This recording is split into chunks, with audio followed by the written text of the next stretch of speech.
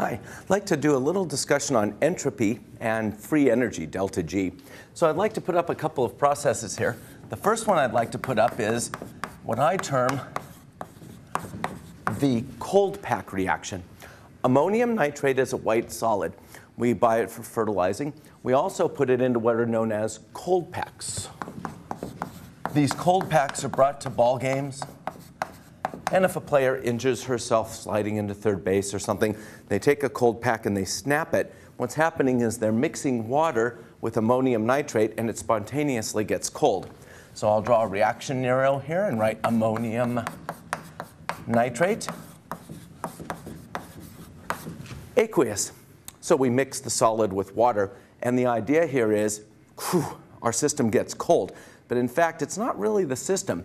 This process is saying that energy is sucked into the system, the surroundings like the water, the bag, if you put it up against an elbow or a knee where you've been banged up a little bit, that's getting cold. I'm going to make a picture of a beaker and try and show on the molecular level what's happening here.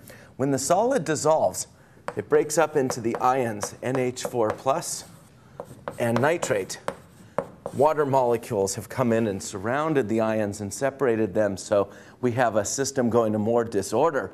But the energy was brought in to do this. So heat was brought from the surroundings, meaning the air around, maybe if it's in contact with your skin, the bag or the glass beaker, and the water. So the water here gets cold as well. So you touch this and it feels cold. The driving force here is entropy or disorder.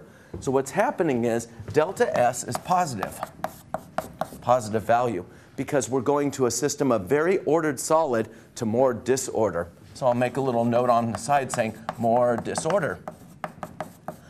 The system is going to more disorder. And since S is entropy, a measurement of disorder, delta S, the change in entropy, is positive.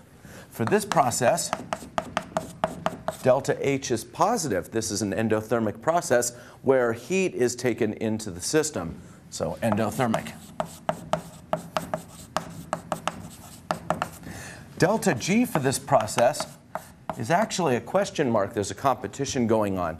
This is favoring spontaneity, and this is fighting spontaneity. Well, if we go ahead and crack the cold pack open at room temperature, like out on a ball field, well, it happens. So delta G would be zero or negative because the process is spontaneous.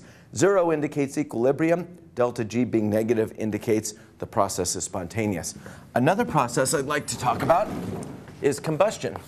I'm going to do 2 moles of C8H18 liquid plus 25 moles of oxygen gas go to 16 moles of carbon dioxide gas and 18 moles of water vapor or steam. Now in this process, we do this, this is the trillion dollar reaction. This is octane, a major component in gasoline. So we fill up our lawnmowers, motorcycles, automobiles, generators, engines with gasoline. We burn it in oxygen to produce CO2 and water. So this is a form of combustion. Nobody's in the business that I know of of making CO2 and water. This is not desirable, but we do it because heat is given off. So we do it to form machines that do work for us. Now, in the beginning, we have 25 moles of gas. The reason for that is because these two moles are liquid. This is gasoline, octane. It's a clear liquid. So we have 25 moles of gas and something with great order. When we're finished, we have 34 moles of gas.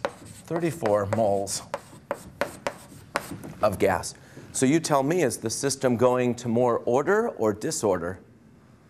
25 moles is going to 34. We're going to more disorder. So Delta S for this process is positive. The system's going to more disorder. Delta H for this process is negative. I'll write down exothermic. Heat's given off. That's what this trillion dollar reaction is all about. Exothermic. Heat is produced. And we know that. We don't go ahead and drive our cars and when we're finished, open up the engine compartment and touch the engine. It's too hot. We know all about that. This is favoring spontaneity. This is favoring spontaneity. This is a win-win situation. Delta G is negative, and so this is spontaneous.